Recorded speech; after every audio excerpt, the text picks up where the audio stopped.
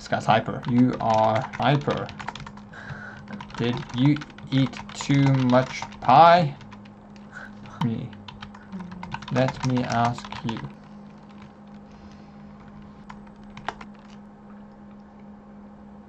That is all? I also lose durability of my weapons. About the end of your life.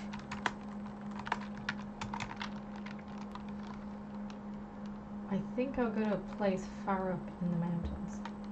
Who can ascend the hill of the Lord?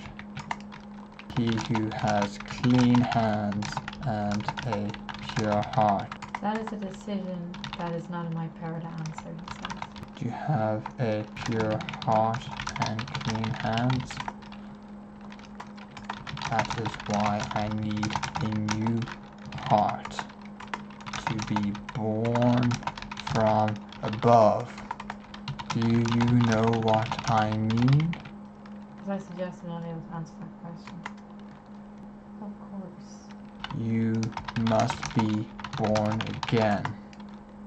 That which is born of the flesh is of the flesh. That which is born of the spirit is spirit. God is spirit. To be with him in heaven, you need to be born of the spirit. Do you understand now?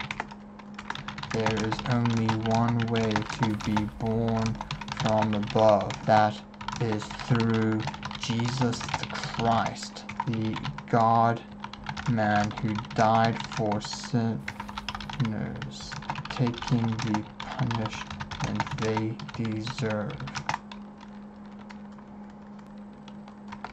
Hope this has given you something to think about.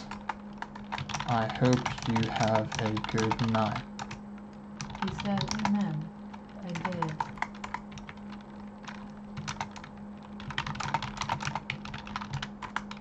Handed him a Bible.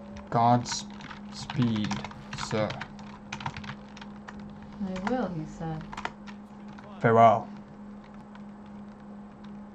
Man, so many cats evangelize here. Hello, Lomax. Let me ask you a question.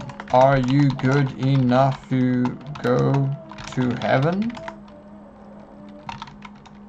Does it scare you that you might be on the path to hell? Then there is no hope for you, sir. I am afraid. Only in the face of death will you consider the truth. By God's grace, before the end, I pray.